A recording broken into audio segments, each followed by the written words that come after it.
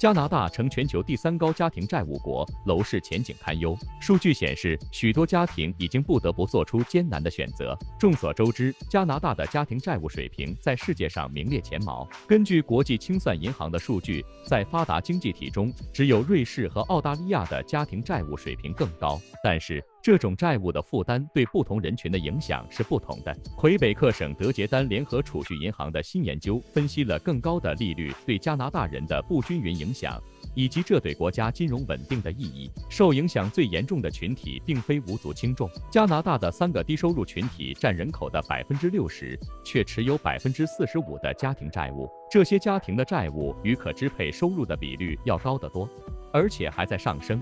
但这并不是决定金融脆弱性的最重要指标。经济学家说，重要的是家庭是否有足够的钱来支付债务利息。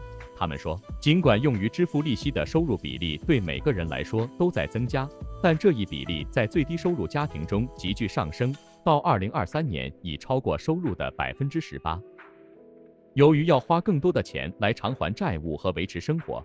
这些家庭几乎没有储蓄的余地，而收入在前百分之四十的家庭每年能够存更多的钱，净消耗或支出超过收入在剩余的百分之六十的加拿大人中增加了。这可能令人担忧。因为在二零一九年至二零二三年间，三个低收入五分位数的家庭增加了他们的抵押贷款债务份额，而利率上升使得偿还这部分债务的成本显著增加。德杰丹经济学家 Maud j a p o 和 Lorenzo Tessier-Moro 说：“点评：根据最新数据显示，加拿大家庭债务水平位居全球第三，仅次于瑞士和澳大利亚，特别是低收入群体。”他们的债务负担显著增加，利息支付占其收入的比例已经达到惊人的百分之十八。这种现象对温哥华楼市有深远影响。很显然，购房需求会减少，意味着市场上买家的减少，而卖家可能需要更长时间才能找到合适的买家。这可能导致房价出现下行压力，尤其是在那些本来就供过于求的区域。短期内，温哥华的房价可能会面临一定的调整。